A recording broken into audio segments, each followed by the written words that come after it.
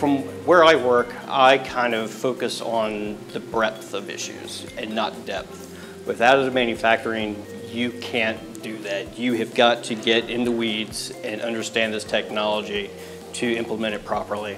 And uh, this, this course has been amazing in helping me obtain that depth. In Peru, we don't have this level of expertise and industrial applications, so I needed to gain knowledge from the experts, from the ones who know this topic. And I, I really did that here. Um, MIT, is, as we all know, is the number one in technology. Uh, so it's always a pleasure to go into institutions which are number one in the world to understand what's happening.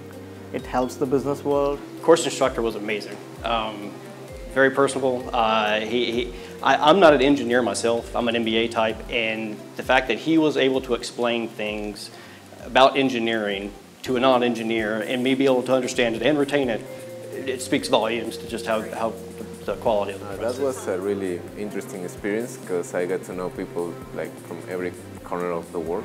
Uh, we got people from Austria, from India, um, uh, Italy, and they're all like expert on each field, experts on, on their respective fields. So I got to not, not only to uh, know them, but to learn from them. It's just, I, I think bringing in all the, this diversity, you know, um, amongst in, industry and government um, and, and countries, you know, it's just, it's, it's great to have that fusion of ideas in one, one place.